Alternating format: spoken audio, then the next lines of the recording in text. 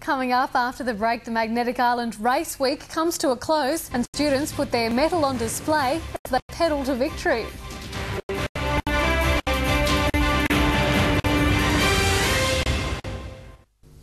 Local students are feeling the need for speed, helping design and build a three-wheeled bike for a technology challenge this Saturday.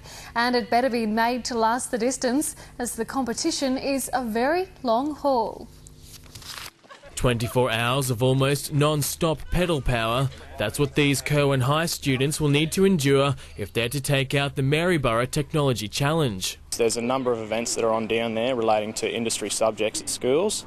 Um, we're entering into the human powered vehicle event. Last year, a team of boys brought home the Spirit Award and came in 62nd out of 122 entrants.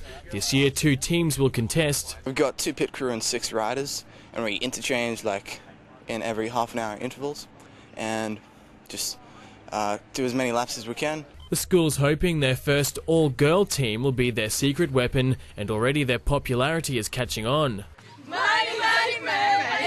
Teamwork's pretty good considering that um, we've only really met each other um, recently and um, we had a we bonded real well and um, we really want to work as a group. But it hasn't all been an easy ride, with the students having to use their studies to devise a suitable speed racer. It's got skinnier wheels, which um, reduces the friction on the road, and the seats down lower, so the air resistance, and um, so some physics is involved. The bikes can reach speeds of up to 50 kilometres an hour, so naturally the pressure is on. We expect that they should come in the top five.